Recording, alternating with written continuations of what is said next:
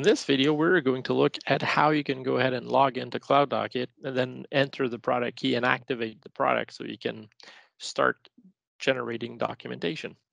So the first step is to open your browser and then go to generate.cloudockit.com. So this brings you to the page that we have here. So the first left part of the page is really login options for a SaaS portal. Um, and the SaaS portal is really the only one that where you will have to actually log in. So with the desktop version, since it's a local install, no login is required, and container version, there's no login required either. So the the for the SaaS version, the, the what we do with the information really is we just validate that the email address that you're logging in with actually is still a, is still good and matches with the product key that has been activated, and that your product key is not expired. These are the only validation that we do on our side, nothing more than that. And so what we approach we decided to take with this is that instead of actually setting up a portal where you could register, enter all your information, and then would have to keep that information for you, it we thought it'd make it much simpler to just leverage platforms and third-party authentication providers that are already active on the market and where most people already have something set up with. So that's why we give you a free option. So you can log in with Amazon, you can sign in with Azure AD, or you can sign in with Google. And so, and if let's look at each of them individually. So if we look at signing in with Amazon, what this means is that we redirect you to the Amazon.com website. And this is where you can actually enter the same credentials you would use to access the Amazon website to do some e-commerce, the, the their e-commerce platform and to do some online shopping. So you would you can put in the same information here and press sign in. You'll be redirected to the Cloudockit website, but we're going to go validate with Amazon that the email address and the passwords you've provided are valid. Then the next option that we have is to sign in with Azure AD. So most main large organizations already have Azure Active Directory set up to manage identities, accounts, users, and so on. Um, so what we can do is we can actually leverage that to authenticate you. So first step is to select, enter your Active Directory tenant name. Uh, so you put enter your tenant name, press continue, and this redirects us to the Microsoft website where you would enter the email address and the password to access, same when you would access either the uh, the Azure portal, uh, Office 365, or sign into Microsoft services to check your outlooks and so on.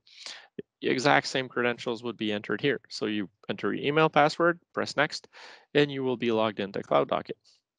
And the last option we have is to sign in with Google. And what we mean by Google is really signing in with the exact same email and password you would use to access your Gmail account, access Google Drive or any, any Google services really.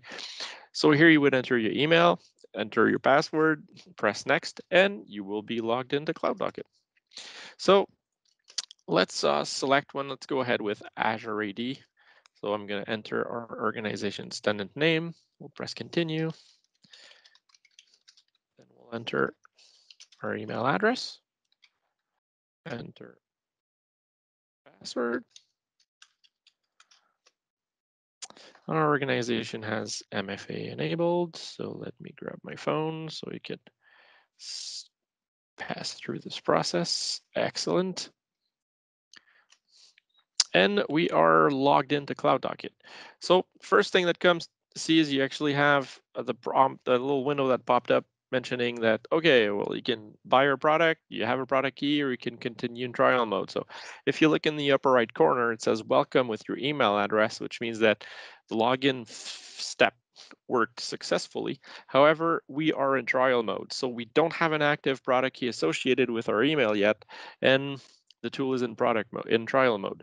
If you want to continue in trial mode, just go ahead, press continue in trial mode, and then you have access to all of the platforms and you can generate documentation from there. However, the trick with this is, is that we will redact 50% of the information that gets loaded in the final reports that the tool generates. So this is the only trick with the trial mode. So we, we give you the ability to test the tool just to make sure that you know, it does what you would expect from Cloudockit. However, we don't give you access to all of the information that can actually be retrieved afterwards. Um, so let's go back to our little product key window here. I have a product key. So this is the case in our situation. So we have a product key, and then as you press the button, you have the enter your product key section that appears. So let's go ahead and paste our product key here. You press validate, and we have the message that confirms that our product key is valid. So from here, you can cancel. If for some reason you've entered the wrong product key, you can cancel this, or you could just confirm. and it logs us on and activates our product key successfully. So as you can see in the upper right corner, we do not have that sentence saying we were in trial mode anymore.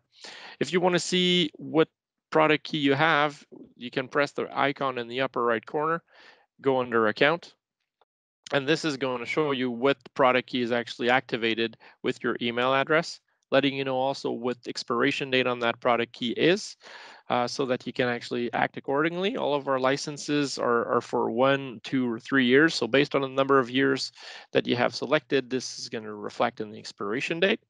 Um, if you see that the date, your expiration date is coming nearby, um, don't hesitate to reach out to our sales team, uh, sales at cloudockit.com, and they'll be happy to, to help you out extend your license. Not an issue at all. And so this is it. We are logged in. We have activated our product key, and we are ready to select platform to go ahead and document our different cloud environments.